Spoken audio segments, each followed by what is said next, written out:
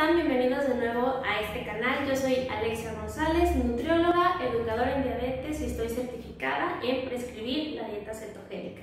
El día de hoy, como lo vieron aquí abajito en el título, vamos a hablar sobre cómo saber si ya entré en cetosis y todos esos síntomas que empezamos a sentir y bueno, también saber cómo la cronología o el proceso de la cetosis. Entonces, sin más preámbulo, vamos a comenzar.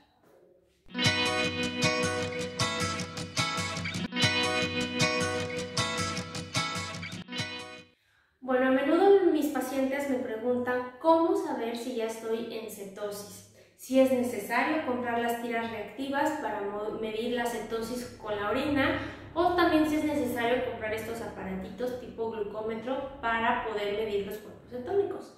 Y yo la verdad les digo que no es necesario, simple y sencillamente con identificar los síntomas o los signos que empezamos a tener en nuestro cuerpo, podemos saber si ya entramos en cetosis. Entonces, cuando nosotros entramos en una dieta cetogénica, dentro de las primeras 12 a 24 horas vamos a empezar a eh, generar cuerpos cetónicos.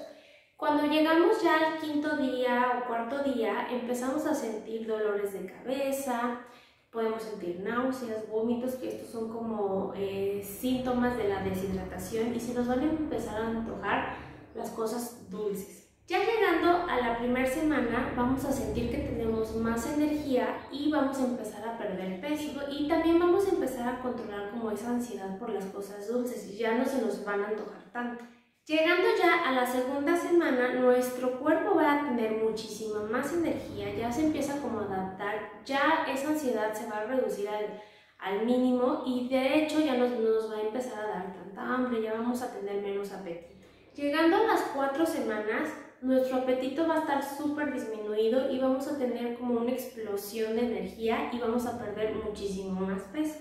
Llegando a las cuatro semanas vamos a tener una disminución de insulina en nuestro cuerpo, por lo tanto vamos a tener muchísima mayor energía y vamos a perder más peso. Y bueno, ya pasando más de las cinco semanas, tu cuerpo ya no te va a pedir tanto alimento, ya no te va a dar tanta hambre, vas a poder concentrarte más, tu cuerpo empieza a perder muchísima más grasa y de hecho tu cuerpo ya no te va a pedir carbohidratos. Acuérdense que al inicio se, se te empiezan a, empezar a antojar las cosas dulces porque tu cuerpo te está pidiendo que de favor le des carbohidratos. Pero ya llegando a estas a 5 semanas, tú ya mm, te vas a sentir como si nada, como si no estuvieras en cetosis. Y bueno, ¿cuáles son estos síntomas de la cetosis? ¿Cómo podemos saber si nosotros ya empezamos a entrar en cetosis y obviamente a perder muchísima grasa? El síntoma número uno es que vas a empezar a ir al baño, a ir a hacer pipí muchísimo más seguido. Generalmente la mayoría de personas empiezan a sentir una, eh, a tener un aliento metálico o frutal porque pues estás generando cuerpos cetónicos y eso se refleja en tu aliento. Entonces generalmente nos empieza a oler la boca y para esto puedes tomar eh, clorofila, ¿sale? Entonces la podemos este, ahí disminuir ese aliento feito de boca.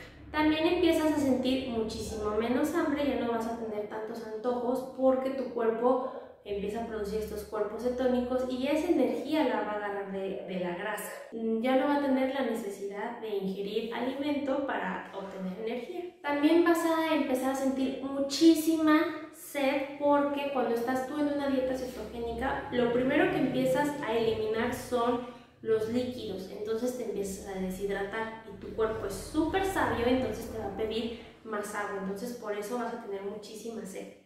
Entonces toma agua y recuerda que tienes que tomar agua mineral. También empiezas a tener un poquito de dolor de cabeza y de náuseas, pero generalmente estos síntomas es por la deshidratación, entonces pues por eso se prescribe el consumo de agua mineral porque tiene sodio. Entonces, el dolor de cabeza y las náuseas generalmente es por la falta de sodio. Y bueno, los primeros días vas a sentir mucha debilidad, entonces quiere decir que tu cuerpo está entrando en cetosis, entonces ten paciencia.